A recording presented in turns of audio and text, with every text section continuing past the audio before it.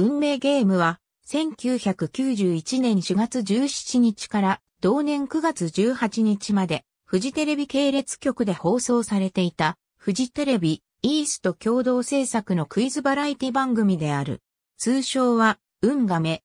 また番組のセットに、亀の模型が多用されていたことから、運命亀と呼称される場合もある。放送時間は毎週水曜22時22時54分。人生の目標として、ある職業をテーマにしたクイズを出題していた。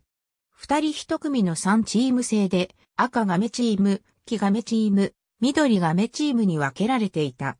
番組初期においては、一般参加者も出場していたが、第10回から芸能人のみの参加となった。本番組のコーナーである、タッチビンゴ、ゲーム、ミステークを探せ。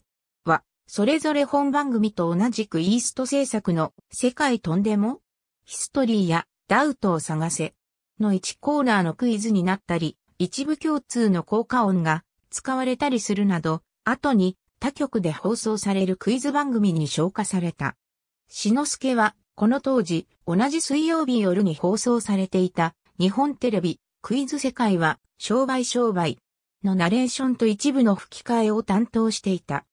この番組のアシスタントコンパニオンを務めた、あざゆえと広田由美は、同じフジテレビとイースト制作の、たけし、いつみの平成教育委員会にも、アシスタントとして出演。ビートたけしから、カメカメガールズと呼ばれていた。